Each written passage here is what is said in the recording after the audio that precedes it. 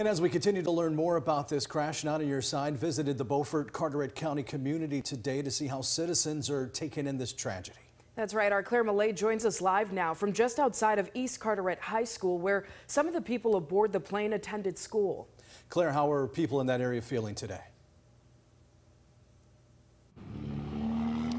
Yeah, Ken, Angie, according to several Facebook posts as well as community members, many think that some of the some of the people aboard that uh, plane did attend East Carteret High School, and many community members I spoke to today were really too shaken up to even speak to the camera.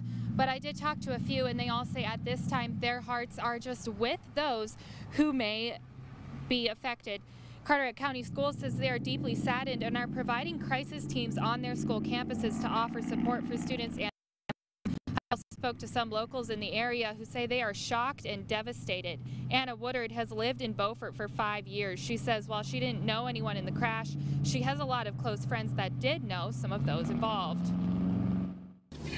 Well, and I'm trying to get emotional because I am a mother of a five year old, and I just don't think that any parent should have to lose their child. You know, the fact that we lost so many, you know, in one incident, it's just heartbreaking.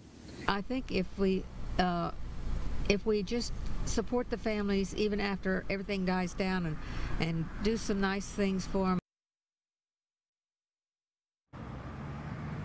Several locals I spoke to also mentioned that they hope there will be plans to somehow honor the students as a community. Coming up at 6, we will have the full statement from Carteret County Schools as well as more from the locals. Live in Carteret County, Claire Mole, 9 on your side. Claire, thank you.